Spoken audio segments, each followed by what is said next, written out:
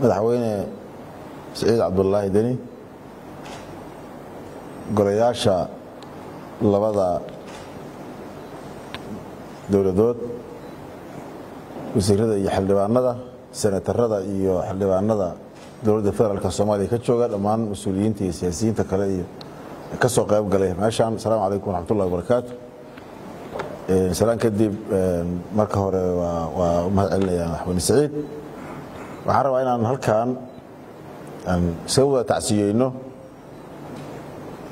geeridii ku timid dadkii waxgalka ahaa ee taliyayaashii iyo saraakiishii iyo ciidamadii iyo mas'uuliyiintii ka kala tirsanaa labada maamul ama labada dowlad gobood ka tirsanaa. Guud ahaan waxaan uga tacsiyeynaynaa soomaali oo dhan maadaama ay ahaayeen saraakiil iyo mas'uuliyiin qaran. Gaar ahaan qoysaskii iyo eheladii si gaar ahaan uga tacsiyeynaynaa intaas kadib sida saaxiibkay madaxweyne siciid sheegay halkan maanta waxaa noogu qabsoomay shir ku soo aaday wakti aad iyo aad aan is waa muhiim u ahaa dhinaca amniga markaan ku hormaro horay ayaa amniga iyo iskaashigiisa iyo ka wada shaqayntiisa iyo in cadowga argagixisada meel looga soo wada jeesto ay noogu ay u ahayd shaqo socotay oo hore loo gaaray. Maanta waxaan uga hadlayna waxay ahayd dardargelin iyo inaan ka jawaabno isku dayada iyo dhagarta ay guud ahaan soomaaliya ay kula kacayaan argagixisadu gaar ahaan labadaa dowladood ay kula kacayaan taasna horena meel fiican bay u joogtay. Haddana kalsooni baan ku qabnaa insha allah inay heli doonaan wadajirkeenna jawaabta ka timaada si wadajir looga howlgalo waxayna leedahay farsamooyin iyo howlo ay hay'adaha amniga u gaar ah sidoo kale inaan wax walba oo argagixisada gacan sii kara aan dadkanaga iyo deegaanadanada kala hadalno laga baraarujiyo oo ay ka mid tahay coladaha yararka iyo waxyaabaha ay ku soo gabadaan ama ayaguba ay gacan ka geystaan dadka inay isku diraan si ay u gaaraan waxyaabo ah ay qoolayaan iyo falalkooda waxashnimada ah. Sidoo kale waxaan maanta halkaan uga hadalnay arrimaha doorashooyinka iyo kala duwanaanshaha ka soo baxay. Taasna waxaan meel isla dhignay inaan ka howlgalno ka shaqayno sidaan horeyba asaaskeedii iyo bilowgeedii uga wada shaqaynay guulna looga gaaray. Mar walba doorashadu waxay leedahay waxyaaba la socda oo aan ka harin. Waa tabashooyinka iyo kala kala duwanaanshaha tan waxay leedahay hadda muhiimad gaarahay leedahay aragti gaarahay leedahay dhinacyada oo dhan inaan hawsha iyada ah si dhaqso ah ugala shaqayno saaxiibadeenna kale ee dowladaha xubnaha ka ah dowladda federaalka ah dowladda federaalka ah iyo dhinacyada kale oo tabashooyinku ay ka jiri karaanba inaan dhammaynteeda aan ka shaqayno aad baan soo soo dhoweynay aragtiyo aan is leenahay insha allah saaxiibadiin waa gudbin kartiin oo waa laynkala shaqayn karaa oo waa lagu dhammayn karaana waa kaleenna waxaan ka codsanaynaa uguna baaqaynaa dhinacyada oo dhan. In laga wada qayb qaato siday ku dhammaan lahaayeen doorashadana si habsamee lagu geli lahaa waxyaabo mar walba ama dhinac tabto ama si gaara loo dareemo way jiri karayaan. Waxaa aad muhiim u ah inta badan inaan u tanasulno ama loo tanasulo ama la ogolaado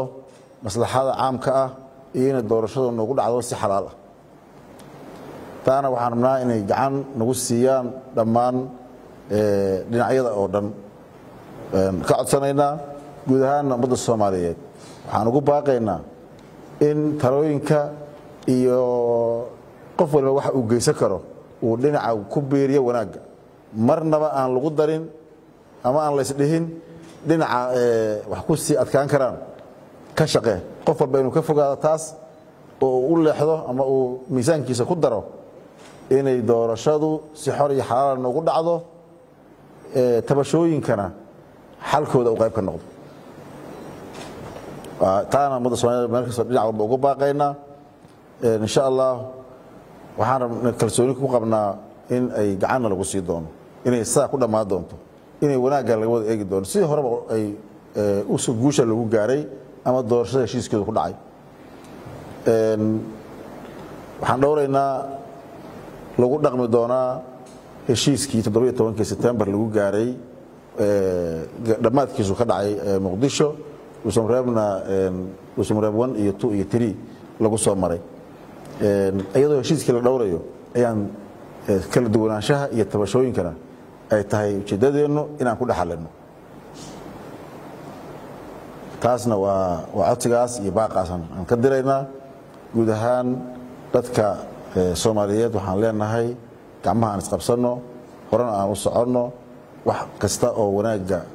na gaarsii karana aan ku dhaqaaqno gaar ahaan reer galmudug iyo reer puntland. Wada jirkeenna wada shaqaynteenna iskaashigeenna dhammaan hay'adaha dowladdu ay isku xiran yihiin aan horay u dhiiragelin hore u sii wadno wiil weynoo runtii la gaara bayna noo tahay soomaalina danbay u tahay. Aad iyo aadaan dalba ugu mahad celinay bismi illahi raxmaan raxiim waxaan marka ugu horeysaa halka rabaa inaan uga tacsiyayo dhammaan eheladii iyo qaraabadii iyo dadka soomaaliyeedba geeridii naxdinta lahayd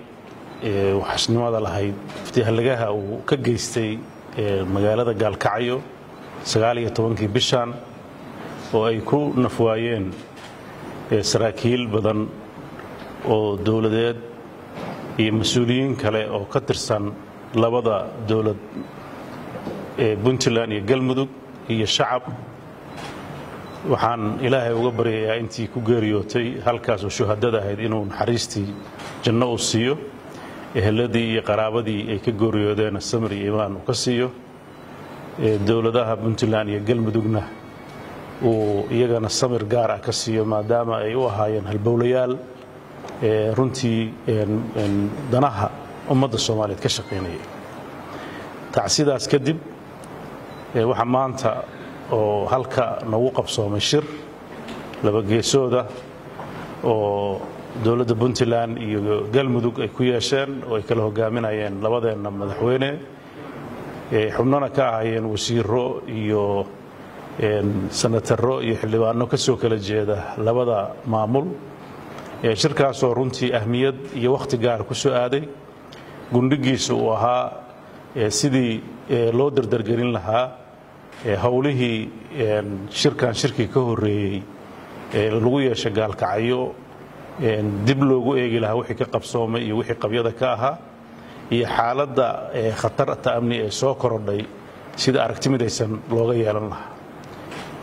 Waxaan runtii isku afgarannay inaan nabadgelyada iyo horumarka gaar ahaan labada maamul iyo guud ahaan soomaaliyaba ka wada shaqayno waxaan u rajaynaynaa shucuubta soomaaliyeed meel kasta ku nooshaa iyo gaar ahaan labada bulsho ee ku kala nool labadan degaan dadaalkii faraha badnaa oo isdhexgalka iyo nabadda iyo horumarka iyo ka shaqaynta la dagaalanka argixisada meeshii ay ka wadeen inay hore u sii mariyaan. Waxaan sidoo kaleeto iska waraysannay xaaladda ee dalku marayo oo runtii marxalad markii horena shirkii halka aan isugu nimid uu ka dhashay inay qabsoomaan shirarkii dhuusamareeb one iyo two iyo tree iyo kii xamar lagu gaaray. Intaba waxaa saldhig u ahaa shirkii magaalada gaalkacyo ku dhex maray labada maamul ee galmudug iyo puntland oo u ahaayeen udub dhaxaad waxay haddana istusiyeen maadaama heshiiskii hore la gaaray sebtembar meelaha qaarkood madmadow ka soo noqday haddana inay u istaagaan sidii ay sidii ummadda soomaaliyeed markii horeba ay ugu taagnaayeen inay iyadana mar labaad u istaagaan sidii ay arrimaha jira wax uga qaban lahaayeen si dalka xasiloonidiisa iyo horumarkiisa looga shaqeeyo nabaddiisa loo xoojiyo doorasho laysla ogol yahay ay u dhacdo dhammaan dadka soomaaliyeedna wax ku ool ugu noqoto. Waxaan rajaynaynaa haddii ilaahay idmo annagoo xilkaa uuna saaran yahay isxilqaan dheeriyana isi saarnay kaashanayna waxgaradka iyo mas'uuliyiinta kale ee labada maamul ka tirsan iyo dhammaan dowladaha kale xubnaha ka ah dowladda soomaaliya iyo dowladda federaalka ah iyo cid walba oo runtii ka danqanaysa horumarka dalka iyo cid walba oo danaynaysa inay doorashadu si wanaagsan u qabsoonto inaan kala shaqayno sidii aan isugu soo dhoweyn lahayn una turxaan bixin lahayn haddii kala aragti duwanaan ay jirto. Waxaan ku kalsoonahay madaxweyne qoorqoor oo runtii markii horena kaalin weyn ka qaatay qabsoomidda shirarkaas iyo inta natiijadeeda maanta la gaaray waxaan rajaynayaa haddana runtii muddadii hadda u dambaysay xamar joogay ku howlannaa siduu arrimaha wax ugu qaban lahaa annaguna inaan gacan ku siinno howlahaas baaxaddale hore ugu jiray annaguna waxaan ku kabno intii karaankeenna ah isu soo dadka soomaaliyeed iyo sidii loo ilaalin lahaa xasiloonnida hadda la haysto loogana hortegi lahaa cid kasta oo xasilooni darrada ee ummaddan u horseedaysa. Waxaan ku baaqaynaa meel kasta oo qalalaaso iyo dhibaatooyin colaadeed ay ka jiraan waayadan dambe waa laga lanayay ay ka dhici karto in waanwaan iyo is-afgarad iyo xal shucuubtaas iyo dadkaas meesha ku wada nool ay ka gaaraan. Waxaan ummadda soomaaliyeed ugu baaqaynaa kala aragtiduwanaad siyaasadeed inayna colaad sokeeye aysan dhalin oo mar walba aragtiduwanaanta siyaasadeed lagu xaliyo wada hadal iyo waddooyinka doorashada. Qorigu inuusan xal noqon caadifaddana la xakameeyo. Waxaana bulshada soomaaliyeed meel kastay joogto u rajaynaynaa guul iyo horumar. Intaas ayaan anigu uga baxayaa. Ku xirnow i b s bank goob kasta iyo goor kasta. Adigoo isticmaalaya i b s mobile banking degso ablicathonka oo isticmaal adeega i b s mobile banking